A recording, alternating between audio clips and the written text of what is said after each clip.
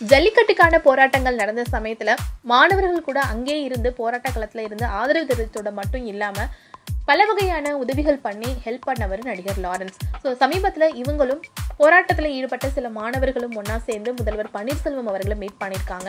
And அங்கே அவங்க என்ன பேசினாங்க எந்த மாதிரியான கோரிக்கைகள் வச்சுருக்காங்க அப்படின்றத நடிகர் லாரன்ஸ் இப்போ சொல்லியிருக்காரு. அண்ட் இவங்களுடைய முதல் கோரிக்கை என்ன வச்சுருக்காங்கன்னா இந்த ப்ரொட்டஸ்ட்ல ஈடுபட்ட ஸ்டூடெண்ட்ஸ் சில பேரையும் வந்து அரெஸ்ட் பண்ணி வச்சிருக்காங்க. ஸோ அவங்களெல்லாம் முதல்ல விடுவிக்கணும். அண்ட் ரெண்டாவது கோரிக்கையாக அப்படி இந்த ப்ரொட்டஸ்ட்ல வந்து ஈடுபட்டு பாதிப்பு ஏற்பட்டவங்களுக்கு ஒரு முதை முறையான மருத்துவ சிகிச்சை அளிக்கப்படணும். அண்ட் மூணாவது விஷயமா ரொம்ப முக்கியமான விஷயமா இந்த கோரிக்கையை நாங்கள் வச்சுருக்கோம் அப்படின்னு சொல்லியிருக்காங்க.